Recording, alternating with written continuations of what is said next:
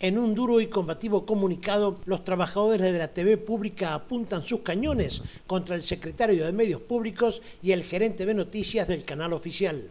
Denuncian un vaciamiento a la TV y los medios públicos con la intención de realizar una limpieza ideológica, manifiestan los trabajadores del medio. Este ha sido el motivo por lo que el noticiero central del viernes no se emitió y es a consecuencia de las políticas de ajuste de la empresa, declararon públicamente los empleados de Canal 7 de Buenos Aires.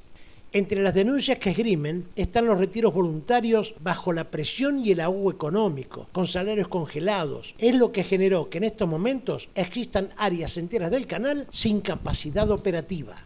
A esta situación se suman los descuentos ilegales por la violación del convenio colectivo de trabajo, el impedimento de paritarias libres y el quite total de las horas extras, ratificaron. Y continúan diciendo en dicho comunicado, por primera vez en 25 años no cubriremos las elecciones presidenciales de Brasil y ni tampoco tendremos presencia en la inauguración de los Juegos Olímpicos de la Juventud a la que asistirá el presidente Mauricio Macri. Las noticias son el principal servicio público en una democracia, dice el pizarrón de la oficina que se encuentra habitualmente vacía, expresan, pero que debería ocupar Néstor Clausero, quien incumple la función de garantizar el servicio informativo en el canal público y sus obligaciones como funcionario.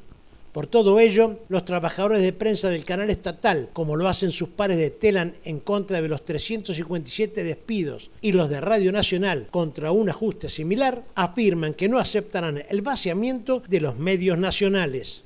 Por último, anuncian medidas gremiales, políticas y judiciales en defensa del derecho a la información pública.